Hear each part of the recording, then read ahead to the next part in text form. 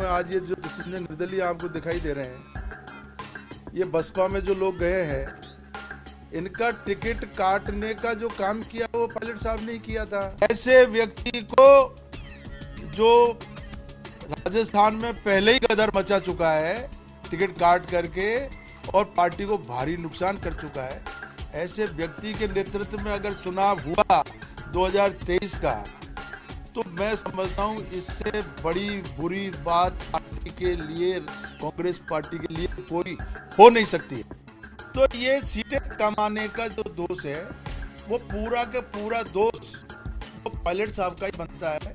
उन्होंने जानबूझ करके जानबूझ करके जो उनसे थोड़ा भी कोई मतभेद रखते थे, या उनकी विचारधारा से सहमत नहीं थे, या उनके पाले में एकदम स्ट्रांगली खड़े नहीं हुए, उन लोगों को टिकट काट करके और पार्टी को भारी नुकसान पहुँचाया। पायलट साहब ने, पायलट साहब ने हमारे यहाँ एक पांचना बाँध है, जो गंभीर नदी बना हुआ है। वो पांचना बाँध को 2006 से रोका हुआ है। अब वो तो हाईकमान को किस तरीके से फ़ीड किया वहाँ पर?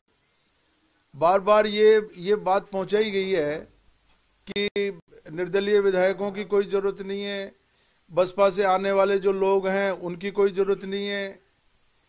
उन सब का मकसद क्या था? सरकार को कमज़ोर करने का मकसद रहा है। और ऐसे लोग जो सरकार को गिराने के लिए जिन्होंने अपनी एडी चोटी का ज़ोर लगा दिया, वो लोग वापस से आकर के और इस तरह का जो अभी उस समय संकट में डालने का काम किया सरकार को और निर्दलीय साथियों की वजह से, बसपा के साथियों की वजह से, और कांग्रेस के भी बहुत सारे ऐसे निष्ठावान कांग्रेसी हैं विधायक, जो बिल्कुल डटे रहे पूरे टाइम। चौतीस दिन तक लगातार साथ में रहे और सरकार को संकट से बचाया। और आज उसी का परिणाम है कि राजस्थान में बहुत मजबूती के साथ सरकार चल रही है। मुख्यमंत्री जी अशोक गहलोत साहब के नेतृत्व में अब जो मंत्रिपरिषद का जो विस्तार हुआ है, उससे मुझे पूरी उम्मीद है कि 2023 का जो चुनाव है, वो निश्चित रूप से कांग्रेस की सरकार रिपीट होगी। राजस्थान में पायलट सब ये बोल रहे हैं कार्यकर्ताओं के मान सम्मान की रक्षा हुई, पुराने कांग्रेसियों के भी मान सम्मान की रक्षा हुई। जबकि आप अलग बात बता रहे हैं। पायलट साहब क्या बोल रहे हैं? पायलट साहब तो सब लोगों का टिकट काट करके बैठे हुए हैं। आज ये जो जितने निर्दलीय आपको दिखाई दे रहे हैं, ये बसपा में जो लोग गए हैं, इनका टिकट काटने का जो काम किया वो पायलट साहब ने किया था। उन वो उस समय पीसीसी के चीफ थे और मनमानी की जनाधार वाले जो लोग थे कांग्रेस के, उनके टिकट काटे। नतीजा ये हुआ कि वो निर्दलीय लड़े। लेकिन आप के माध्यम से, मीडिया के माध्यम से मैं ये ज़रूर कहना चाहूँगा कि ऐसे लोग जिनका टिकट भी कट गया, खुद के मेहनत से, खुद के पैसे से चुनाव जीत करके आए, जिसमें कांग्रेस पार्टी का कोई योगदान नहीं है, वो लोग सबसे पहले जीतने के बाद में आकर के कांग्रेस के पक्ष में खड़े हो गए। क्या गुना किया उन्होंने? मैं समझता हूँ उन्होंने कोई गुना नहीं किया। वो कांग्रेस के कट्टर समर्थक, कट्टर पृष्ठभूमि के लोग, जिन्होंने सब कुछ लगा करके चुनाव जीत के आने के बाद में पार्टी की मदद की। और मैं धन्यवाद देना चाहूँगा मुख्यमंत्री जी को। चाहे वो मौका दे दे पाए नहीं दे पाए लेकिन उन्होंने हर हर मौके पर उन लोगों की जो मेहनत थी उन लोगों का जो पार्टी के प्रति जो निष्ठा थी उसको ज़रूर याद किया है। हमेशा उन्होंने यही कहा है बार बार कि मैं उन साथियों को नहीं भूल सकता हूँ। तो ये बात सुनकर के हमारा मन प्रफुल्लित हो जाता है। आपके मंत्री नहीं सभी जिम्मेदार हैं आपको लगता है या निर्दलीय वो तो निर्दलीयों को नहीं बनने के लिए तो पूरी मुहिम चला रखी थी। एक साल छह महीने से लगातार वो क्या हाईकमान को बातें कर रहे थे मुझे तो पता नहीं है लेकिन बार बार ये सुनने में आ रहा था कि निर्दलियों को नहीं बनाना चाहिए बसपा से आने वालों को नहीं बनाना चाहिए। निर्दलीय साथी हैं वो लड़े ज़रूर निर्दलीय लेकिन वो तो है तो कांग्रेस के ही लोग। मैंने वहाँ कांग्रेस के लिए काम किया सवाई माधोपुर में। उस समय जब यहाँ पर 21 सीटें थी और मेरी पुत्र बधु वहाँ पर जिला प्रमुख कांग्रेस की, सारे प्रधान, चार प्रधान मैंने बनवाए सवाई माधोपुर में, कांग्रेस के। मेरा बेटा धीरज मीना, जो राष्ट्रीय सचिव था यूथ कांग्रेस का, हम कांग्रेस ही नहीं है। हमारा टिकट किस आधार पर काटा?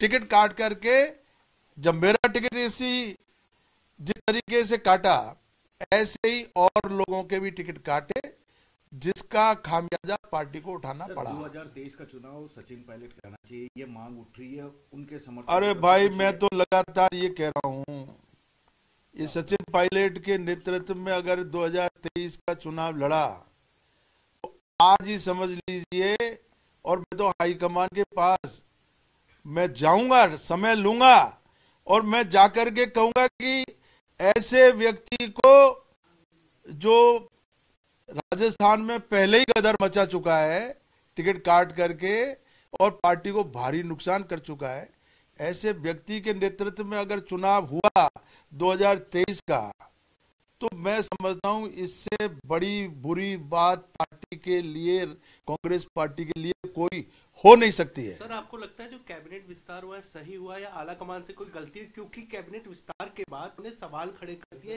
चाहे वो जौहरीलाल मीणा हो चाहे कोई कोई नहीं कोई नहीं अभी जो कैबिनेट विस्तार हुआ है वो बहुत सोच समझ करके हाई कमान ने भी प्रियंका गांधी जी ने राहुल जी ने सोनिया जी ने और मुख्यमंत्री जी ने बहुत सोच समझ करके और बैलेंस के तहत ये काम किया है। और मुझे नहीं लगता कि इसमें कोई और दूसरी गुंजाइश थी। सब लोगों को जहाँ से भी बनाया है, बहुत सोच समझ करके बनाया है। अब छोटी मोटी बात कहीं चल रही है तो वो एक अलग बात है। जौहरी लाल जी के बार बार जौहरी लाल जी का बयान मैंने भी पढ़ा है। जौहरी लाल जी ने यही कहा है कि मेरी हाई कमान से या पार्टी से नाराज़गी नहीं है उनकी व्यक्तिगत लड़ाई है टीकाराम जूली साहब से। तो ऐसी कोई छोटी मोटी जो बात है वो छोटी मोटी बातों पे ध्यान नहीं देना। वो निजी बातें हैं उनके भी वो पत्र लिख पत्र पत्र जो है लिख सकते हैं पत्र अपनी भावना व्यक्त कर सकते हैं।